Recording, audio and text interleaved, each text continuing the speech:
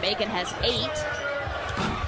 Three point attempt is good from Kyle Guy in the corner. And it looks like Harry Giles may have hit one of the referees in the face. Yeah, he hit that ref hard. Out. Look, Harry Giles knocks him Oh! right in the noggin. Glasses on tight. They never came off from Harry